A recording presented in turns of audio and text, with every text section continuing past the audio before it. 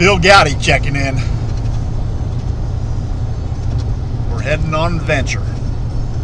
Doing some traveling. Heading over to, uh, I think they call it Xenia or Xena, Ohio. Hamvention. Uh, Dayton. Used to be in Dayton at the Hara Arena, and they changed it now to the Greene County Fairgrounds. 440 miles to go. So they spell this city with an X. X N I E A or something like that. I don't know. I'll have to look it up. But I don't know what the history is. And why would you use an X for a Z? Why not just use a Z? I don't know. Ah, that's hard on us people in the Midwest. Stand by. The adventure continues.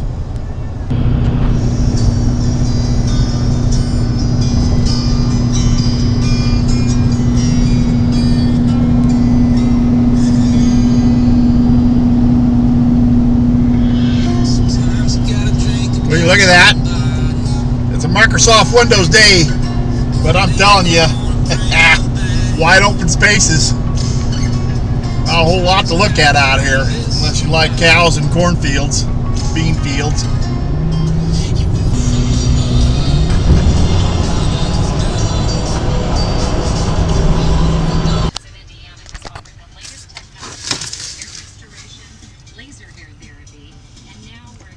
Can you see that?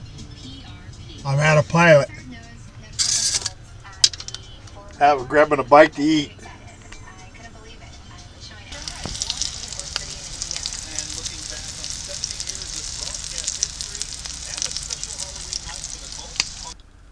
Cheers. Here I am. Iced tea. Just plain iced tea. There's no sweetener, no no anything, just iced tea.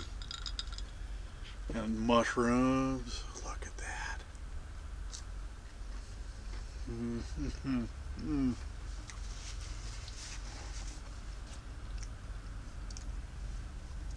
I'm on the east side of uh,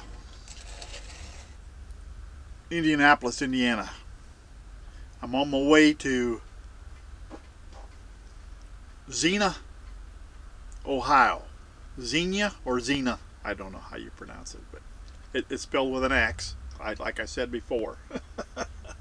And how you get a Z sound from an X sound, I don't know. But uh, I'm not. Uh, hey, I'm not hooked on phonics, I guess.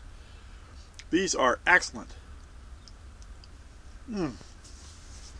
I'm so hungry.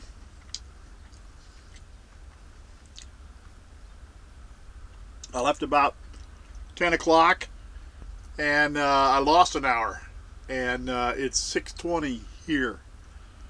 And I'm at a pilot uh, on the I guess it would be on the east side of Indianapolis.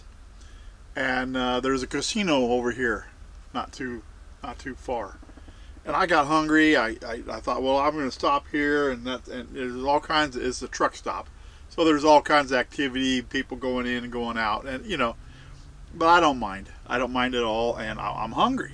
That was that was the main thing.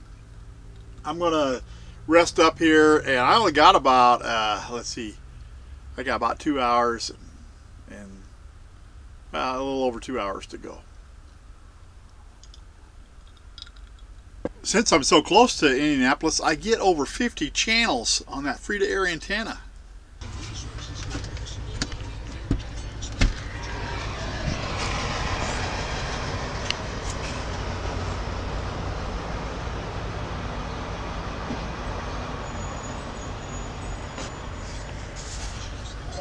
I got that free to air antenna two years ago at the electronics show at that Hamvention.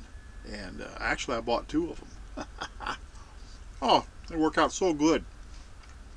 I think I'm going to go ahead and sleep here for a while and uh, get a good early start in the morning. That's what I'm thinking. Listen, the adventure continues. Bill Goudy out for now. Thanks for watching.